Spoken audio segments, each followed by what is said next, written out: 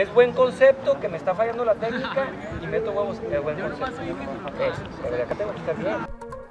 El Atlético y los Halcones de Saltillo, aprovechando ambos el receso en sus respectivas categorías, tanto por a los Halcones de Saltillo que iniciarán el año enfrentando al derby saltillense ante los Halcones. Por parte de Atlético iniciarán sus compromisos este 12 de enero ante Cuautla en calidad de visitante.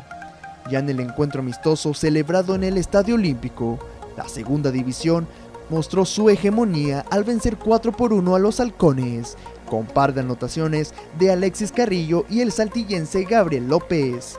Por parte de los halcones, la anotación estuvo a cargo de uno de los nuevos refuerzos que ayudarán en esta segunda vuelta de temporada a acercarse a puestos de liguilla, que es uno de los propósitos del club para este año, tanto para los halcones como para el Atlético. Para RCG Deportes, Juan Sánchez.